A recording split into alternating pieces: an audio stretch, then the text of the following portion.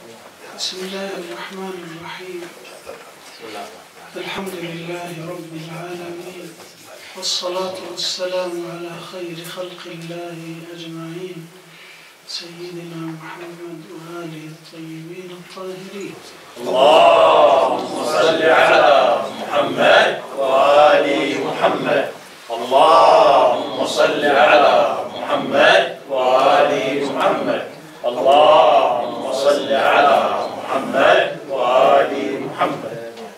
الذين اصطفاهم ربهم واجتباهم واختارهم على علم على العالمين والبراءة من أعدائهم من الأولين والآخرين إلى أبد الآبدين. وبعد السلام عليكم ورحمة الله وبركاته. أسعد الله أيامكم بولادة سيد الخلق صلوات الله عليه وآله في هذه النشأة وإن كان هو في عالم النور هو أول خلق الله بلا شك ولا ريب. لم يذرأ الله ولم يبرأ ولم يخلق مخلوقا قط لا ملك ولا سماوات ولا أفلاك ولا كرسي ولا عرش ولا قلم قبل محمد صلى الله عليه وآله. اللهم صل على محمد وآل محمد. وهو أول الخلق طرا.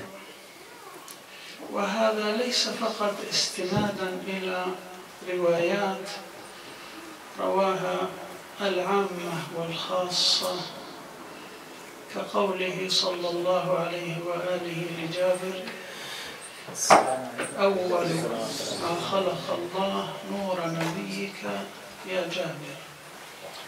وغيره من الأحاديث التي يرويها أئمة الهدى صلوات الله عليهم كقوله صلى الله عليه وآله أول خلق الله نوري خلقت من صفاء نور الله.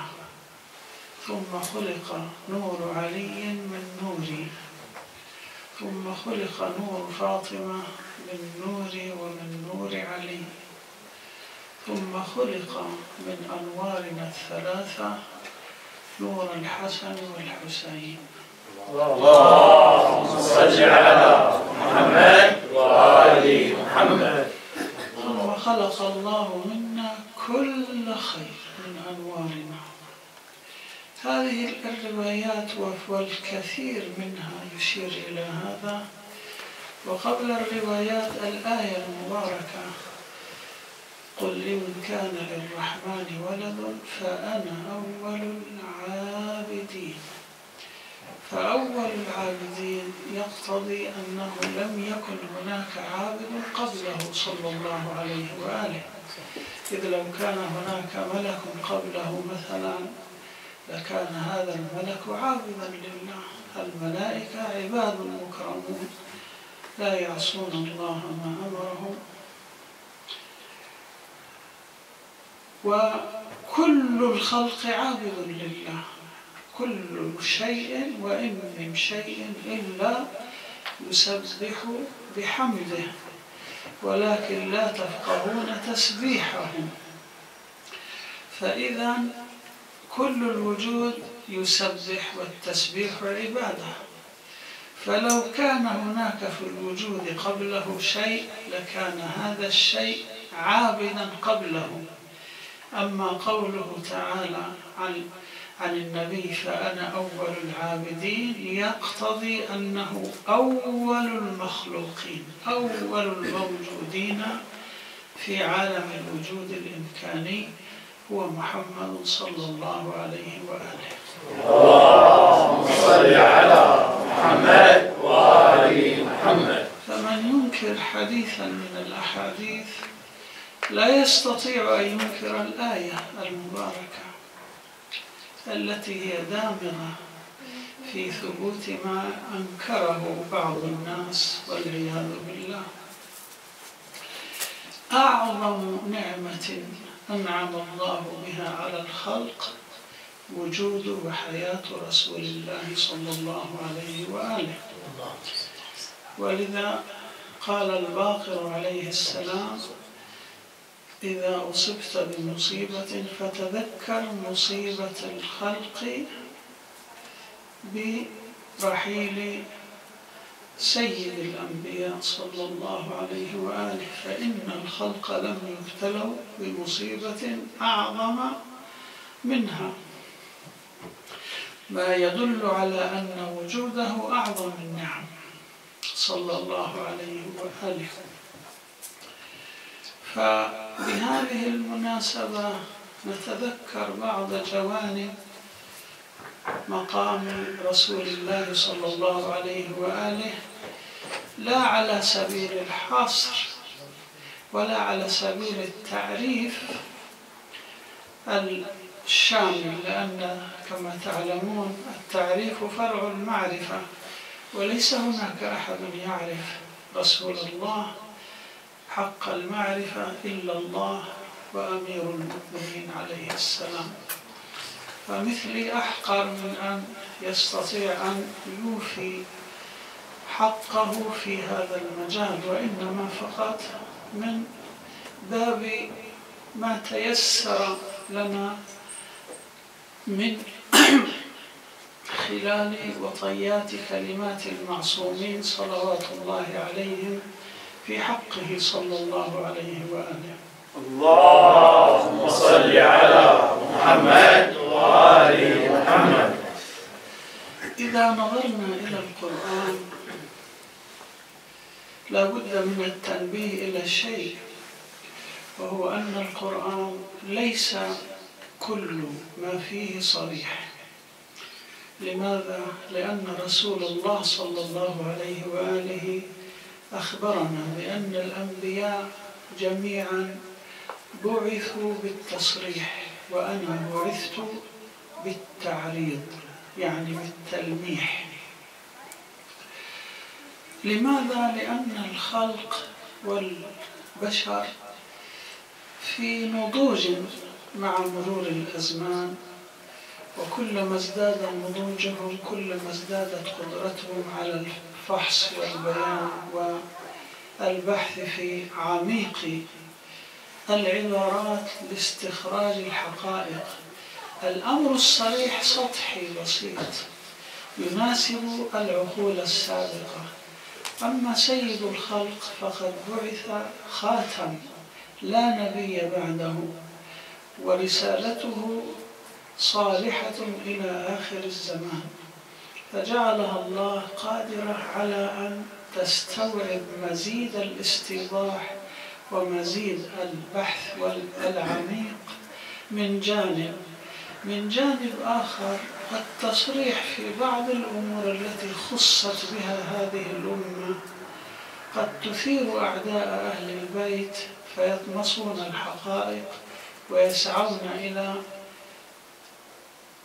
تزييفها وتحريفها إن كانت صريحة. أما إن كانت غير صريحة فقد لا يلتفتون. ولذلك تلاحظون أن كثير من فضائل أهل البيت وصلت إلينا بسبب هذا الأمر. أنهم لم ينتبهوا إلى ما في هذه الفضائل من وظائف إلهية. من ضمن عبارات القرآن وأساليبه نعم يوجد الصريح في القرآن وهو ما اتفقت عليه كل الشرائع والأديان مثل قوله تعالى لو كان فيهما آلهة إلا الله لفسدتا مثلا هذا برهان صريح يسمى عند العلماء برهان التمانع. ولكن هناك أساليب أخرى غير واضحة غير صريحة مثل أسلوب المثال. وتلك الأمثال نضربها للناس وما يعقلها إلا العالمون. يعني يحتاج إلى علم وتفكر وتدبر حتى يفهمها ويستخرج منها القارئ الحقائق التي أرادها الله سبحانه وتعالى. من ذلك أيضا أسلوب القصص. الله سبحانه وتعالى يقول وكلا نقص عليك من أنباء الرسل ما نثبت به فؤادك. وجاءك في هذه الحق وموعظة وذكرى للذاكرين. هذه الحقائق هذه المواعظ هذه الذكرى لا يدركها إلا من تأمل وتبصر وتبين ما المراد من هذه القصة التي بينها القرآن الكريم. كذلك الفضائل. الفضائل ليست مجرد ثناء ومدح كما يفعل مثلا الشعراء والأدباء. فإذا جاء قوله تعالى إنما يريد الله ليذهب عنكم الرجس أهل البيت ويطهركم تطهيرا.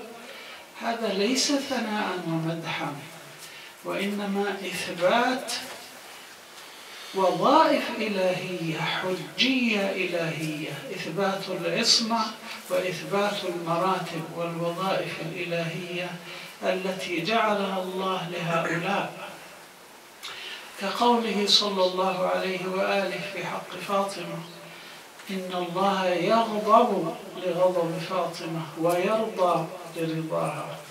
هذا يبين أن هذه الأمة الصالحة لها مقام إلهي وظيفة إلهية مرتبة إلهية يجب اتباعها والاقتداء بها وهي حجة لله على الخلق. وكذلك إذا ذم القرآن بعض نساء النبي. ماذا يقصد؟ هل مجرد فقط يعني إنقاص وتحقير؟ لا. وإنما المراد بالذم هنا أنهن لسنا حجة عليكم ولا يقتدى بهن لا بفعل لهن ولا بقول لهن.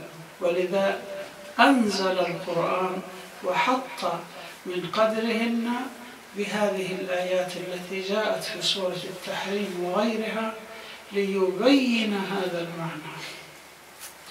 فرسول الله صلى الله عليه وآله أولا هو مظهر كمالات الله ومظهر جلال الله ومظهر كمال الله وهو مظهر الأسماء الحسنى والصفات العليا.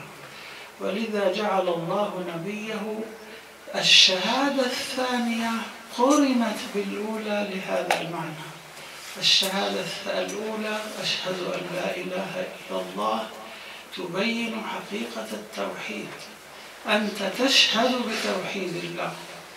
ثم الشهادة الثانية أنت تشهد بالواسطة.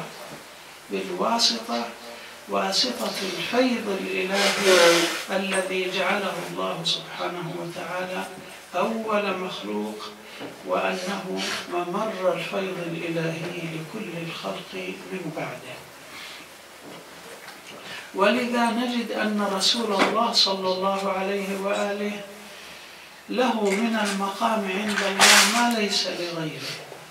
في حق الله ماذا يقول القرآن؟ فلا تضربوا لله الأمثال. هذه آية قرآنية. تنهانا عن ضرب المثل لله. لكن هل نستطيع أن نضرب المثل لرسول الله؟ كلا. تأتي آية أخرى تقول انظر كيف ضربوا لك الأمثال فضلوا. فلا يستطيعون سبيلا. حتى رسول الله لا نستطيع أن نضرب له المثل. من الذي يضرب له المثل هو صلى الله عليه وآله الذي يبين لنا بمثل ضربه ولا سبيل إلى معرفته إلا عن طريق ما بينه فلا يستطيعون سبيله. قال أنا مدينة العلم وعلي بابها. يعني السبيل الوحيد إلى معرفته صلى الله عليه وآله هو بابه الذي بينه صلى الله عليه وآله. رسول الله صلى الله عليه وآله في حق إخوانه من الأنبياء مأمور كل الأنبياء بإطاعته. الله أمر جميع الخلق أن يطيعوا رسول الله. حتى الأنبياء أين هذا في القرآن؟ مواضع كثيرة منه قوله تعالى ومن يطع الله ورسوله فأولئك مع الذين أنعم الله عليهم من النبيين والصديقين والشهداء والصالحين. وحسن أولئك رفيقا. ماذا تعني هذه الآية؟ أن الذي يطيع الله والرسول سيكون في مجموعة. يدخل كأن الله سبحانه وتعالى يقول لك إذا أنت أطعت الله ورسوله سوف تدخل مكان تجد فيه النبيين والصديقين والشهداء والصالحين وأنت رفيق معهم ماذا يعني هذا؟ أنت رفيق رفيق في ماذا؟ في الثواب والجزاء فقط؟ لا في الإطاعة كذلك يعني كل هؤلاء أطاعوا الله والرسول صلى الله عليه وآله ولذا جعل الله من يفعل ذلك رفيقا لهم. لما؟ لأنهم رفقاء كذلك. المعية هنا معية الرفقة ولكن قبلها معية الإطاعة. تدل الآية على أن النبيين والصديقين والشهداء والصالحين قد أطاعوا الله والرسول محمد صلى الله عليه وآله. اللهم صل على محمد وآل محمد. ومن ملاحم القرآن آية الميثاق وإذ أخذ الله ميثاق النبيين. الله أخذ ميثاق للنبيين. هذا الميثاق ميثاق غليظ فيه معاوضة وفيه مشارطة. لما آتيتكم من كتاب وحكمة ثم جاءكم رسول مصدق لما معكم محمد صلى الله عليه وآله اللهم صل على محمد وآل محمد. لتؤمنن به ولتنصرنه. هذا الشرط حتى تكونوا أنبياء حتى يؤتيهم الله النبوة. والكتاب والحكمة يشترط عليهم أن يؤمنوا به وأن ينصروه. لتؤمنن به ولتنصرنه. قال أقررتم وأخذتم على ذلكم إصري. طلب منهم الإقرار وطلب الإصر الميثاق الغليظ. قالوا أقررنا. لم يكتف رب العزة استشهدهم. قال فاشهدوا وأنا معكم من الشاهدين. هذه الملحمة القرآنية العجيبة تدل على أمور كثيرة منها أن رسول الله مصدق لما معهم مصدق لما مع جميع الأنبياء. المصدق مطلع على كل ما عندهم لما تحب تصدق رسالة أو ورقة عند النوتار ماذا يفعل؟ يقرأ كل كلمة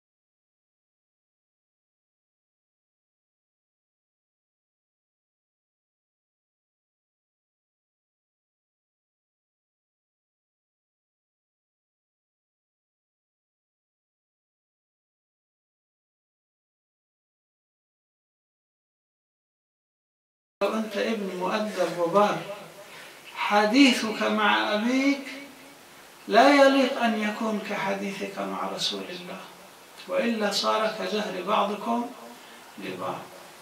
وماذا يحصل؟ الأعمال تحبط. حتى وأنت غير مدرك. يعني ما تكون متعمد إساءة الأدب.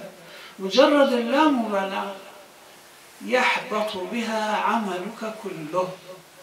لأن أعمالكم جمع مضاف والجمع المضاف يفيد في اللغة الاستغراق يعني كل أعمالكم تحبط حتى الإيمان. الإيمان من الأعمال. مجرد يتكلم بصوت مع رسول الله ككلامه مع غير رسول الله هذا فيه إحباط لكل الأعمال. إذا من هو رسول الله؟ ومن عرفه منهم حتى ولذا كان أمر أمير المؤمنين عليه السلام ماذا؟ كان لا يتكلم في حضرة رسول الله إلا بأمر منه أمسك لسانه أدبا وأطلق سيفه أرسله جهادا بأمر رسول الله. وبعد قبض رسول الله أمسك سيفه بأمر من رسول الله وأطلق لسانه فبين بلاغة وفصاحة وعلما كان قد أخذه عن أخيه صلى الله عليه وآله. مقام رسول الله الذي عرفه أمير المؤمنين عليه السلام حق معرفته يا علي لا يعرفك إلا الله وأنا ولا يعرفني إلا الله وأنت ولا يعرف الله حق معرفته إلا أنا وأنت. فالذي هو قاصر في معرفة رسول الله لا شك قاصر في معرفة الله. القصور في معرفة رسول الله يدل على قصور في معرفة الله. اللهم عرفني نفسك فإنك إن لم تعرفني نفسك لم أعرف. فهذا مترتب. إنكار مقام المرسل يدل على إنكار مقام المرسل سبحانه وتعالى. ولذا لما أنقصوا من قدر رسول الله ذكر القرآن أن هذا إنقاص من قدر الله. وما قدر الله حق قدره إذ قالوا ما أنزل الله على بشر من شيء. يعني إنكارهم لما أنزله الله من مقامات على محمد صلى الله عليه وآله. من أين هذا الإنكار والجهل والغباء والتقصير والقصور؟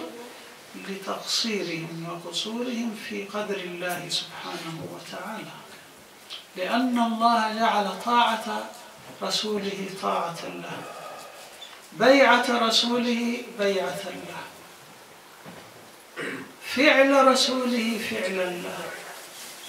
وما من يطع الرسول فقد أطاع الله.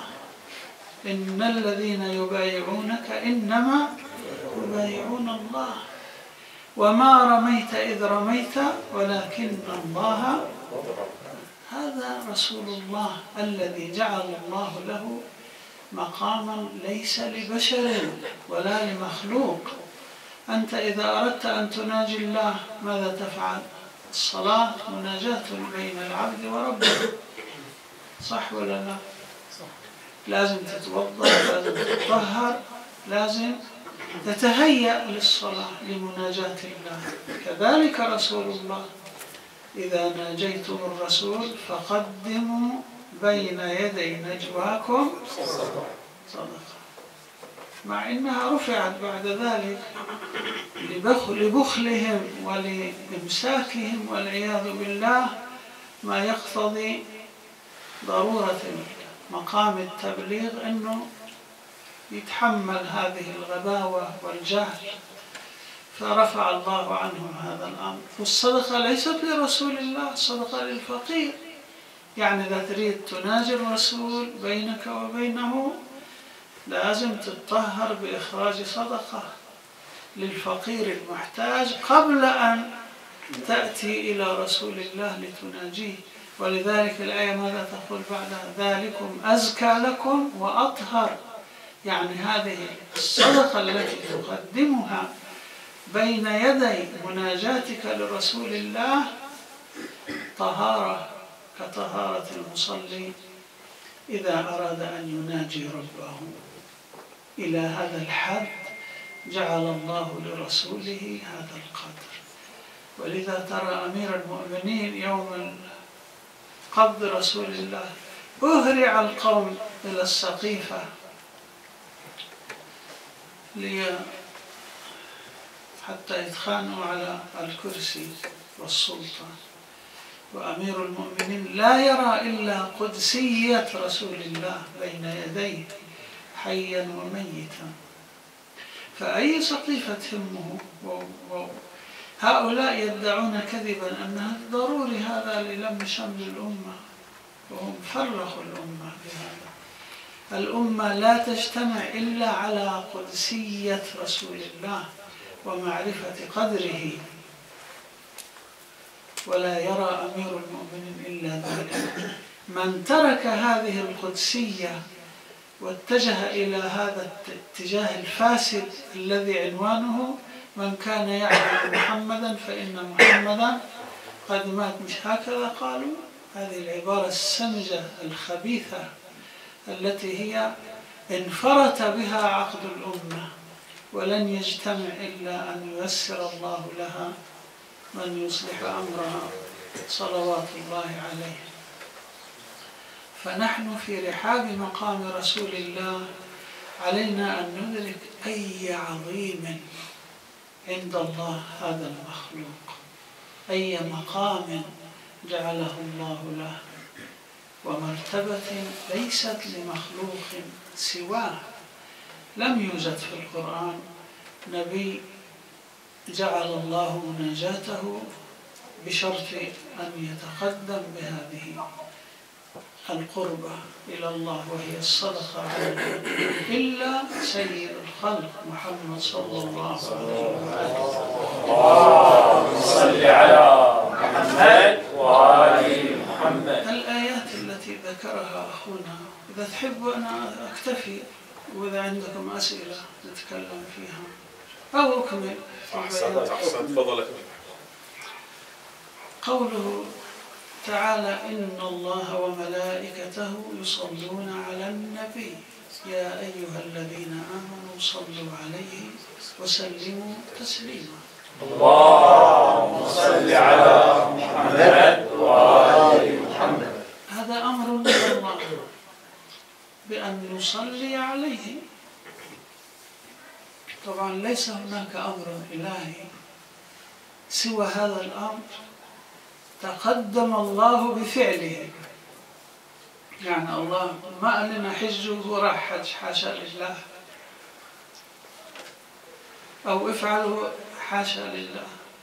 سبحانه غني عن المكان والزمان والجهة. وهو ليس كمثله شيء ولم يكن له كفوا أحد. هل تعلم له سميا؟ حاشا لله. إلا هذا الأمر. الله يقول لنا افعلوا كذا. بس إحنا بنعمل. أنتم الآن ماذا قلتم؟ اللهم صل على محمد وآل محمد. الله يقول لكم صلوا عليه وأنتم تقولوا لا أنت صلي. مش هكذا؟ إحنا ما نصلي عليه إحنا نطلب من الله أن يصلي عليه. يعني الله يقول لنا صلوا أنتم إحنا نقول له لا يا رب أنت صلي إحنا ما نصلي. مش هذا معنى دعائنا؟ اللهم صل على محمد وآل محمد إحنا ما نصلي عليه. لماذا؟ ما هو هذا ليس فيه تناقض. الله حين أمر بذلك ذهبوا إلى رسول الله يا رسول الله أمرنا أن نصلي عليك. فكيف نصلي عليك؟ قال قولوا اللهم صل على محمد وآل محمد. هذا الأمر من عند رسول الله. حتى نفهم هذا الأمر وسره نبحث عن معنى الصلاة. نجد أن أصل الصلاة ليست المصادق التي نعرفها. الدعاء من معاني من مصادق الصلاة. الفرائض الخمسة والنوافل من مصادق الصلاة. لكن معناها ما هو؟ هل هو من الصلي وهو معناه معروف والصلب وكذا الذي هي الثاني أو الشيء الذي اصطلي بالنار؟ أم هو له سر ومعنى خفي ينبثق منه هذه المصادق؟ بعض أهل اللغة والعرفان قالوا أصلها التعطف والانعطاف من كل بحسبه وعلى كل بحسبه.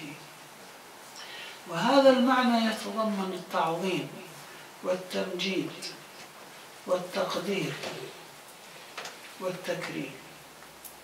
وكل هذه الكمالات التي تدل على شدة التقديس والتعظيم أي معنى هذا حينما نقول الله يأمرنا أن نصلي عليه ونحن نقول اللهم صل على محمد وآل محمد ماذا تعني؟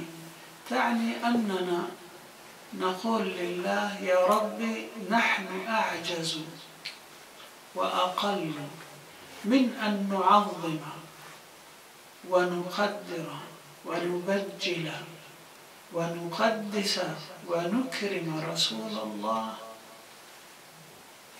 بما يليق به. فافعل أنت يا رب ذلك. يعني إقرار منا بالعجز والقصور والتقصير. لا مش هنا ما في مقام إنما قصور. يعني نحن أقل من أن نستطيع أن نكرمه. ونعظمه ونمجده بالقدر الذي يليق به. فأنت يا رب الذي تقدر على ذلك. سبحانك أنت على كل شيء قدير.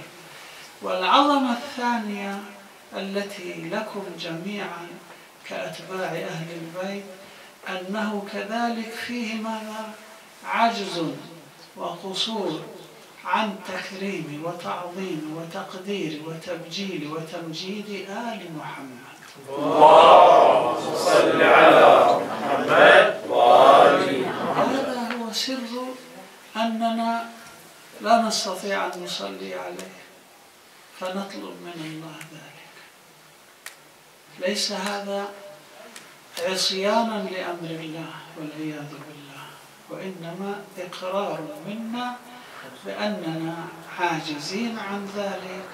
أقل من ذلك أنا حينما أقول اللهم صل على محمد وآل محمد أقر بهذا بأني أحقر وأقل من أن أستطيع أن أمجده وأعظمه وأكرمه بما يليق به فأطلب من الله ذلك. أما قوله تعالى الذي قرأناه من هذه القراءة الجميلة لسماحة الشيخ محمد إنا أرسلناك شاهدا. هذا مقام الشاهد والشهادة والشهود لرسول الله صلى الله عليه وآله يدل على أن الله سبحانه وتعالى أقدره على أن يعرف أفعال الخلق جميعا حتى يشهد عليهم يوم القيامة. شاهد إلهي شاهد رباني. الشاهد لابد أن يكون مطلعا على ما يشهد به. وإلا يكون شاهد زور أو شاهد بالباطل لا يعرف. حتى في الخصومة الله سبحانه وتعالى يطلب من العبد إذا شهد على شيء أن يكون متيقن مما يشهد به. رسول الله صلى الله عليه وآله أشار إلى الشمس وقال أترى هذه الشمس في وضح النهار؟ قال نعم. قال فعلى مثلها فاشهد وإلا فلا. الشهادة لها مقامان مقام تحمل الشهادة ومقام تأدية الشهادة. في مقام التحمل لابد من أن تكون مدرك تماما وعلى يقين بأنك ما تشهد به صحيح. في مقام تأدية الشهادة لابد أن تكون معصوما عن النسيان. ما تنسى ما شهدت به. وكلاهما كلاهما ضمنه الله لرسوله. الرسول أمكنه الله على أن يرى أعمال الخلق جميعا. كيف؟ هاي شغلة الله ما شغلتكم أنتم. وقل اعملوا فسيرى الله عملكم ورسوله والمؤمنون. ما قال ورسوله يرى والمؤمنون يرى؟ لا. ورسوله والمؤمنون. بإراءة الله يعني فعل يرى جاء مرة واحدة فسيرى الله عملكم ورسوله. معطوف على اسم الله سبحانه وتعالى. والمؤمنون من؟ هم الأئمة عليهم السلام. ليس كل مؤمن. هنا المؤمنون فقط المعصومون الثلاثة عشر. بعد رسول الله. هذول المقصودين بالآية. وإلا عندهم في البخاري حديث أنه أبو بكر وعمر وفلان رأوا رجلا في القتال قالوا يا رسول الله ما رأينا أحسن جهادا منه. هذا بطل. هذا أفضل من علي بن أبي طالب. الظاهر هو هيك يعني يريدون أن يجعلوه بديلا. عن أمير المؤمنين. فقال لهم النبي هو في النار. إذا هم ماذا رأوا؟ هل يكون هم المعنيين بقوله فسيرى الله عملكم ورسوله والمؤمنون حاشا وكلا.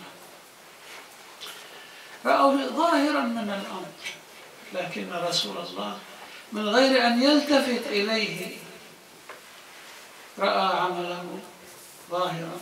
وباطنا ومصيره أنه في النار هذه الشهادة مقام الشاهد لرسول الله. هل فقط في حياته؟ لا. قبل أن يأتي بهذه النشأة كان شاهدا. بعد أن يرحل برضو بقي شاهدا. فكيف إذا جئنا من كل أمة بشهيد وجئنا بك على هؤلاء؟ شهيدا وهنا تفترق شهادته عن شهادة إخوانه من النبيين. إخوانه النبيون شهادتهم فقط في حياتهم لأمتهم في حياتهم. عيسى ماذا قال؟ وكنت عليهم شهيدا ما دمت فيهم. فلما توفيتني كنت أنت الرقيب عليه. فشهادة رسول الله غير شهادة عيسى غير شهادة مقام الشاهدية. هو أعلى مقام جعله الله لشاهد الرباني من الخلق جميعا. وصلى الله على محمد وآل محمد. اللهم صل على محمد وآل محمد. اللهم صل على محمد وآل محمد. اللهم صل على محمد وآل محمد. سيدنا هاي الآية اللي تفضلت بها أنا استأذنت أول شيء. الآية اللي تفضلت بها ما تنطبق عليها الآية اللي هي تقول أعوذ بالله من الشيطان الرجيم. وجعلناكم أمة وسطا لتكونوا شهداء على الناس ويكون الرسول عليكم شهيدا. وكذلك جعلناكم. أمة وسطا لتكونوا شهداء على الناس. الأمة الوسط هم الأئمة عليهم السلام. الأئمة المعصومون هم شهداء على الناس. مقام مراتب الشهادة عند الله في الآخرة مراتب كبيرة وكثيرة. في البداية يشهد عليك رجلك وإيدك وجلدك وكل شيء. وقالوا لجلودهم لما شهدتم علينا إلى آخر الآيات. والمكان الذي أنت فيه يشهد لك أو عليك كل شيء يشهد. بعد ذلك الملكين الكتبة رقيب والعتيد الذين دونوا لك كتابك.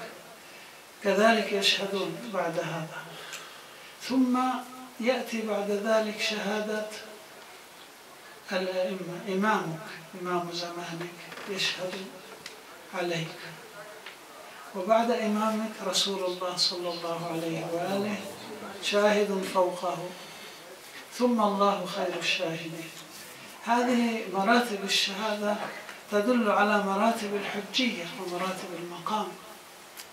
ولماذا جبريل ما قدر يعبر ما عبره رسول الله. إذا رسول الله كان في مكان لا يقدر عليه ملك أن يصل إليه. لازم نربط القرآن ببعض بعضه ببعض. القرآن لا نهجره. الرسول اشتكى قال الرسول يا رب إن قوم اتخذوا هذا القرآن مهجورا. وهناك ناس جعلوا القرآن عظيم أعضاء متفرقة لا ترتبط ببعض القرآن يشهد بعضه لبعض ويؤيد بعضه بعضا. لماذا جبريل ما استطاع أن يصل إلى المقام الذي كان رسول الله في المعراج؟ تخطاه وذهب وراءه هو مقام غيبي. تلاحظون في آيات الأسماء وعلم آدم الأسماء كلها ثم عرضهم. يعني عرض ماذا؟ الأسماء هنا قالش ثم عرضها عرضهم. يعني وجودات حية عاقلة نورانية على الملائكة. فقال أنبئوني بأسماء هؤلاء. ماذا قالوا؟ لا علم لنا إلا ما علمتنا. لماذا لم يعلموا الملائكة؟ لأنهم في مكان لا يصل إليه ملك. عرضوا عليهم لأول مرة. الملائكة لو كانوا هذه الأنوار اللي هي محمد وآل محمد. لو كانوا في السماوات والأرض كانوا يعرفوهم الملائكة. الملائكة ما في موضع قدم في الأرض ولا في السماء إلا وفيه ملائكة. بس الملائكة ما عرفت الأسماء. لماذا؟ لأنهم في مكان غيبي. فلما قال يا آدم أنبئهم بأسمائهم قال فلما أنبأهم بأسمائهم قال ألم أقل لكم إني أعلم غيب السماوات والأرض؟ إذا هؤلاء في مكان هو غيب السماوات والأرض. لا يصل ملك إليه. النبي استطاع أن أن يجوز هذا المقام لأنه منه جاء جبريل ما يقدر. لو تقدم احترق. لأنه لا يستطيع أن يتلقى الفيض الإلهي مباشرة كرسول الله. لاحظون هذا اللي يسموه الضغط العالي. الكهرباء الضغط العالي. لو نزلت على بيوتنا ماذا تعمل فيها؟ تحرقها لأنه إحنا ما مؤهلين. أجهزة البيت لا بد أن يكون هناك وسيط اللي هو المحول هذا الوسيط اللي يأخذ هذا التيار العالي ثم يحوله إلى قدر يستطيع أن تتحمله أجهزة البيت. نفس الشيء الفيض الإلهي مباشرة لا يقدر مخلوق على تلقيه إلا رسول الله صلى الله عليه وسلم. غيره هو الرسول محول له يفيض عليه ولذلك واسم واسطة الفيض. الفيض مباشرة لا أنا ولا أنت ولا أحد يستطيع أن يتحمل. النبي يرتبه بحيث تتحمل يعطيك ما تقدر على تحمله من الفيض. وهذا سر أنه لا بد من واسطة للفيض الإلهي. جبريل نفسه يحترق إذا جاز هذا المقام. ما يقدر ما عنده transformer يعني ضغط عالي يحرقه. أما رسول الله مؤهل جهز. فجاز هذا المقام. فالشهادة مراتب أحسنت وهذا يدل على شوف يعني ماذا يعني أن رسول الله آخر الشهداء؟ يعني أن رب العزة لا يقضي لأحد بالجنة أو عليه بالنار إلا بعد شهادة سيد الخلق محمد صلى الله عليه وسلم. اللهم صل على محمد وآل محمد. أي مقام هذا؟ نعم.